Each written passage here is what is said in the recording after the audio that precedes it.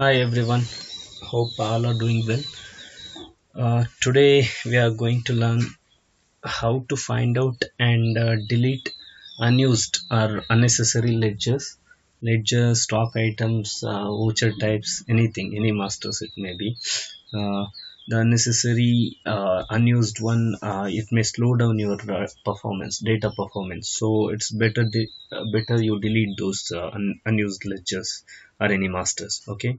Let us start how to find and delete those.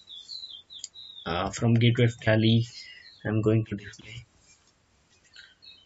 Some display list of accounts okay here you can see all the ledgers are listed out okay?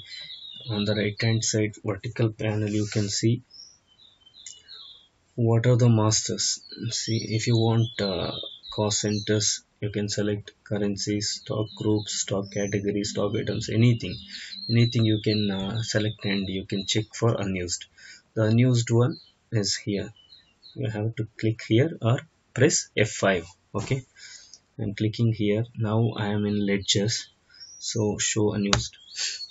So these many unused ledgers I have. So if you want to check just enter on that and there is no opening balance also. That means it is not uh, there is no opening balance and it is not used in any transactions also. So I can use it. You can uh, select all the unused ledgers at uh, one click by clicking here space R shortcut uh, key key combination in the keyboard is control space okay? If you don't want to delete all those things uh, only few of them uh, you want to delete means and select it. Just uh, place the cursor on the uh, unnecessary ledger and press space bar space bar space bar space bar okay?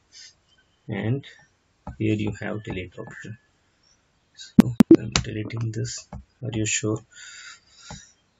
It will ask for confirmation. If you say yes it is deleted. Okay. The same way you can delete uh, stock items godowns voucher types anything. Okay just uh, select all okay? Here uh, we are already in uh, unused. So when you click on the masters it will show all the unused only it will show okay? So i'm in stock item. I select that. Select. Select. Delete. Yes related this way you can delete unnecessary or unused ledgers or uh, any masters. Okay? This is for today. Until the next video. Bye bye